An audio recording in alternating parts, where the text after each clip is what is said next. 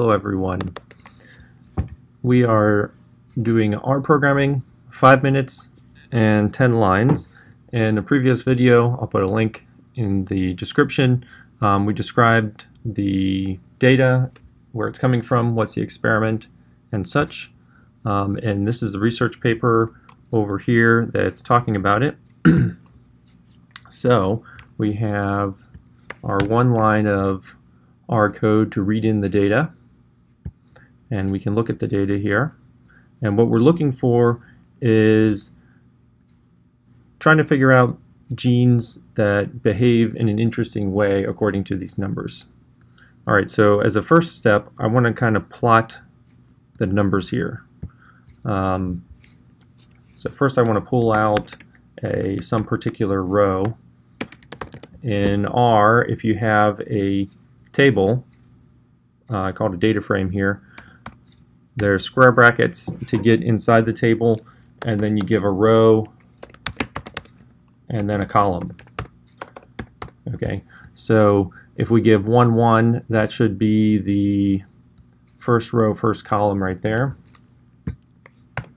And we can see that over there. If I change this 1 to a 2, that's the next column, 3, 4, 5, 6. Okay, so that starts the numbers. Um, how many numbers are there? Um, let's see. There's 32 columns in the data overall. So if I put 32, that should be the last column. And if I put 33, that's null because it, there's no 33rd. So if I go from 6 to 33, sorry, 6 to 32. All right, that should be the first row there. Okay, so let's go ahead and plot that. I'm going to use a bar plot.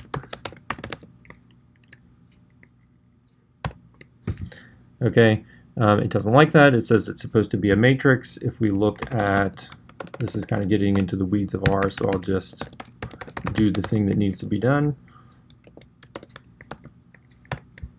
Okay, so there it is. That's the first row. So is this interesting? Maybe. Um, and we can see the first three are the stem cells, and then we've got the day eight, uh, right, left. Let's see, I want to, let's rearrange those. I want to make it so we can actually read all the levels, uh, all the labels there. Okay, so in the bar plot, was this LAS equals 2. Okay, so now we could actually read those. So there's the stem cells, the three embryo samples, the day 8 heart tube samples, and then we have left-right ventricles. Okay, so I could do this, I could plot this for every one of the 45,000 genes. That would take a long time. Um, so instead of that, let's go back over here and look for some particular ones. Um, so these, if we read the text, these are genes that may be of interest. So I can go over here and look for these genes.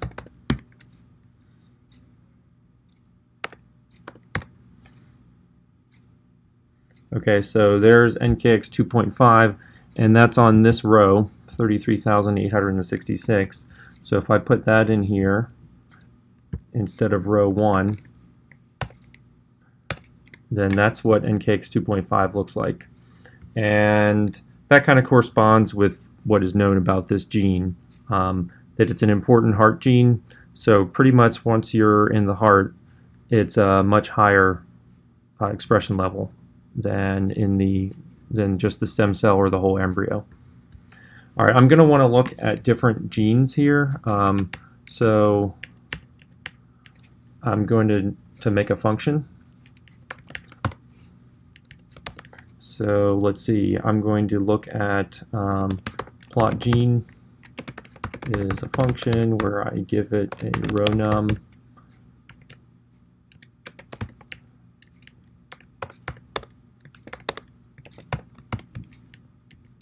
and then I'll do it for this particular gene.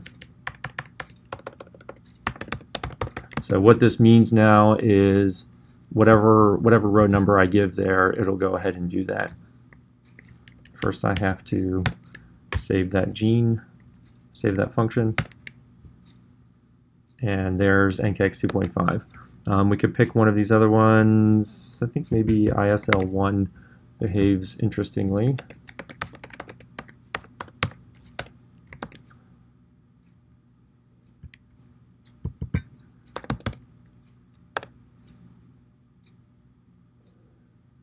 Okay, there's two different um, there's two different rows there that correspond to that gene. Let's see.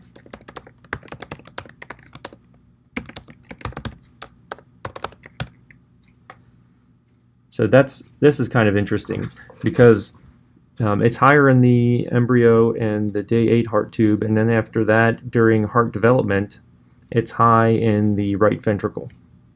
That's kind of cool. So this must play an important role in the formation of the heart, but then by the time you have an adult heart, it's lower. And I think we're about at five minutes and we're at 10 lines of code. So we could play this game of looking for any one particular gene and um, and seeing what it looks like. So things to do. Uh, what about running that for all 45,101 rows? Okay, that requires a little bit more programming. Um, other things that you would want to do is well, and, and pull out the important ones automatically.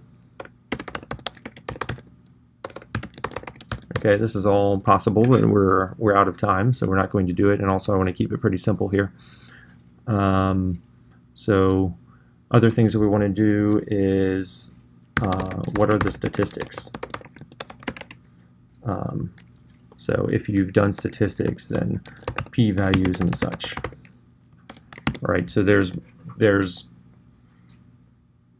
functions that we can call to get uh, more quantitative about what we're seeing here. So what is this a real effect? That really looks like a real effect, that this gene is higher in the right ventricle than le left ventricle. Um, but can we, can we say that in terms of statistics? Yes, we can, and R can do that for us. All right, so we'll leave it at that for now you could play with this yourself if you wanted to. We'll put all the um, we'll put the code and data in here. The data is there, so I'll put this file up. Um, there's a link to the research paper as well. Okay, now have fun.